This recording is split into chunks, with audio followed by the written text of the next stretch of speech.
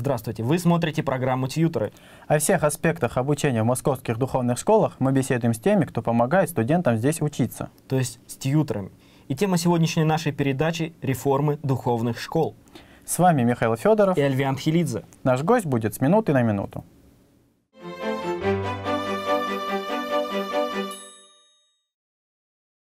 Священник Дмитрий Артемкин, тьютор Московской духовной академии – 1984 года рождения. Окончил Московский государственный гуманитарный университет имени Шолохова, Московскую духовную семинарию, Московскую духовную академию. Рукоположен во священника в 2009 году. Вы за или против реформ? Я за. Почему? Мне кажется, в ходе реформы могут произойти действительно важные и позитивные изменения в духовной школе. Какие? Видите, в чем дело? Прежняя, прежняя программа учебная, она была выработана еще в послевоенные советские годы. И, конечно, она устарела на сегодняшний день. Ведь как учился до самой последней поры среднестатистический студент, даже отличник. Он мог усердно писать конспект, мог прочитать то, что ему задали, хотя, по правде сказать, на это времени было мало, чтобы читать. Потом выучить то, что он написал в конспекте, рассказать на экзамене своему преподавателю – получить за это некий балл и считаться даже отличником. Все-таки этого недостаточно. Для того, чтобы говорить о серьезном образовании, этого недостаточно. И однако именно таким образом строилось наше духовное обучение многие годы.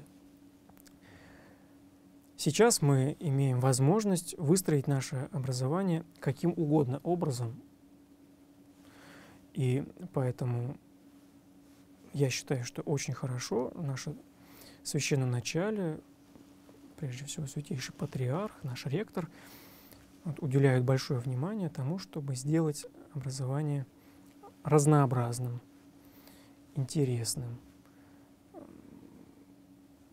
каким-то важным для человека лично. Но вы ведь сами учились в старой системе. Вам нравилось? Мне нравилось, э, но при этом я могу видеть и недостатки. Вот. Конечно, я считаю, что наша альма-матер давала и сейчас дает приличное образование, да? но оно может быть еще лучше. Что изменилось в жизни конкретного студента? Изменилось э, очень важная вещь. Это как бы поток учебных годов. Э, теперь студент э, становится более заинтересован в качестве своего образования. Смотрите, большая часть абитуриентов попадает сейчас не на первый курс бакалавриата, а на подготовительное отделение. Это связывается с тем, что выпускники школ, среднеобразовательных школ, не обладают в большей своей массе достаточными сведениями, знаниями, чтобы поступить сразу в бакалавриат. Им требуется год, чтобы подтянуть свои базовые знания. После этого года подготовительного отделения происходят вступительные экзамены уже на первый курс бакалавриата. И вы можете себе представить, э, студент, проучивший здесь год, какая у него высокая мотивация, чтобы поступить дальше, потому что он здесь завел друзей, он здесь привык, он почувствовал вот, аромат жизни в лавре. Вот, конечно, студент хочет всей душой учиться дальше. Вот, и я был свидетелем подведения итогов э, по учебной части подготовительного отделения, я видел, какие высокие баллы у студентов. Очень высокие. Это говорит о том, что Появилась наши, мотивация. наши студенты новые, они очень заинтересованы в высоких результатах. Дальше идет 4 года бакалавриата. Бачка, ну у нас студент же поступает не только на подготовительное отделение, некоторые поступают и сразу на первый курс. Да, есть и такие, это обычно выпускники каких-либо серьезных воскресных школ или православных гимназий, то есть тех, кого специально учили православной вероучению, истории церкви и другим вещам. Насколько сильно, Бачка, изменилась программа и в чем она изменилась? Программа на сегодняшний день изменилась недостаточно сильно. Мы находимся в процессе становления новых учебных планов, программ по отдельным предметам. Вот, э, ну, начать нужно с того, что профессорско-преподавательский состав у нас прежний, и переход на новые рельсы не может быть быстрым. Так сколько лет учились раньше в целом и сколько учатся теперь? Раньше образование было 5 плюс 3. 5 лет семинария, 3 года академия. Теперь 4 года бакалавриат, 2 года магистратура. А появились какие-то новые приоритеты, акценты в формах, методах образовательных программ? Самый главный акцент, который делается сейчас, это акцент на самостоятельной подготовке студента, на его личной инициативе, на его личном познавательном интересе.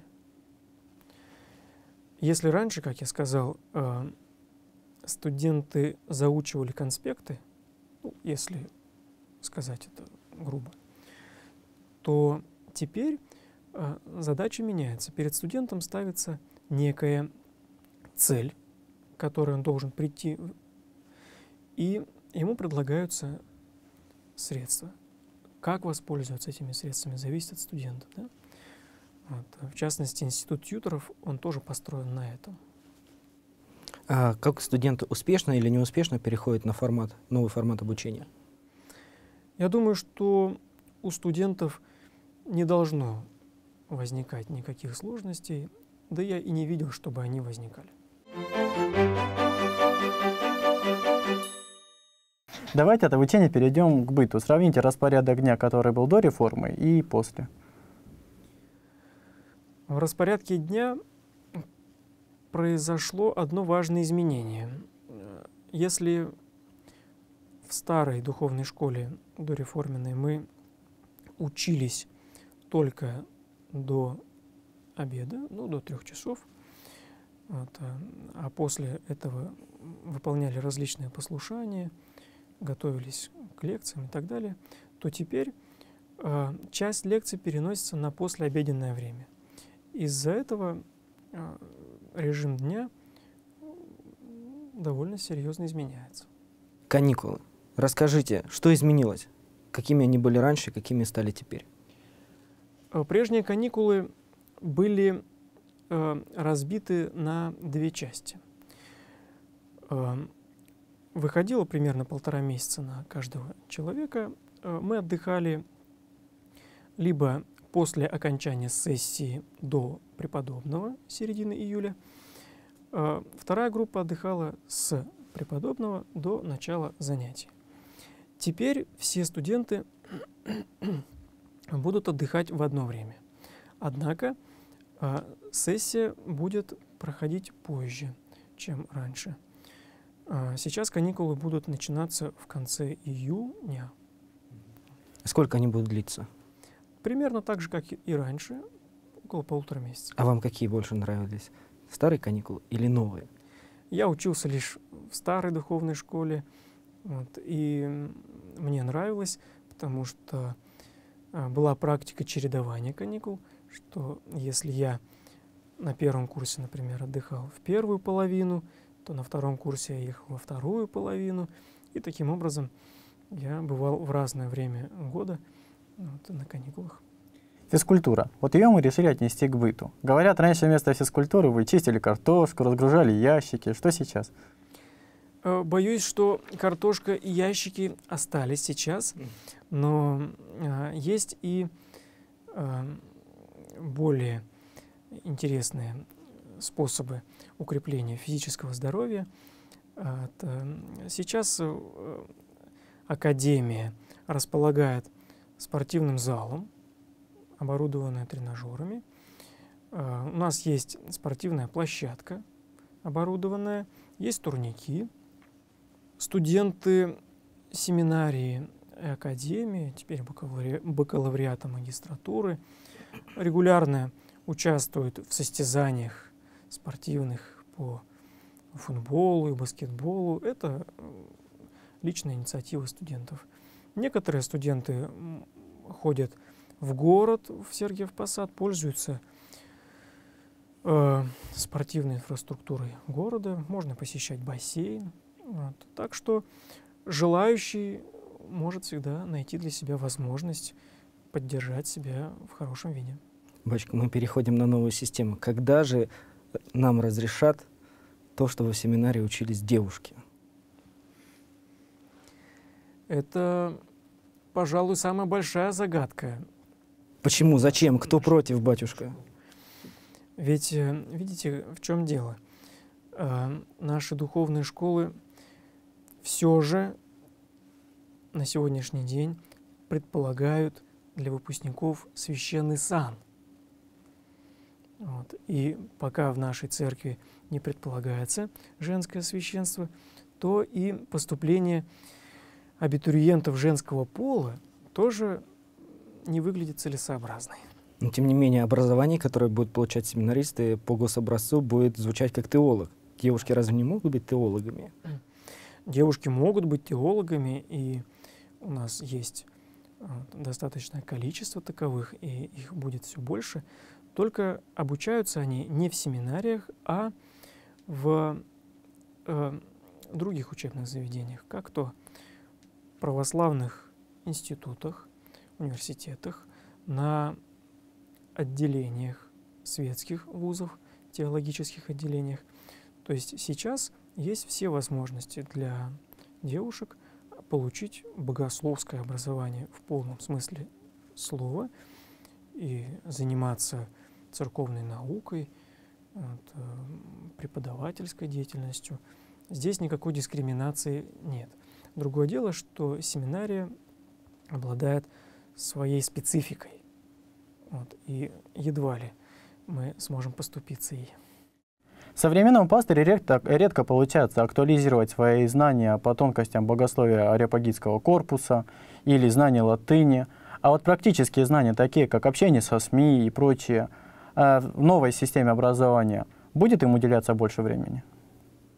Да, и более того, на сегодняшний день уже некоторые шаги в этом направлении предпринимаются. Я знаю, что в духовных школах наших сейчас есть возможность поупражняться в выступлении перед видеокамерой. Вот. А, а, некоторых студентов приглашают на радио.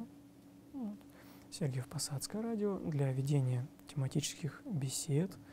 А, программа, новая программа бакалавриата предполагает на старших курсах э, уделять больше внимания именно практическим дисциплинам. Да? То есть если сначала на первых курсах мы уделяем больше внимания общим дисциплинам, фундаментальным, то на старших курсах э, практическим. Кроме того, для тех выпускников бакалавриата, которые не намерены продолжать обучение в магистратуре и писать диссертацию, а для них предполагается, по крайней мере, рассматривается такая возможность, а, организации дополнительного года, дополнительного года обучения, на котором а, все внимание будет уделено именно практическим дисциплинам, психологии, вот, э, даже основам психиатрии, да, как раз-таки общению со средствами массовой информации, а, публичной прочей деятельности. Здесь а, это в планах. Пока мы не имеем выпуска бакалавриата, поэтому посмотрим, как будет на практике это реализовано.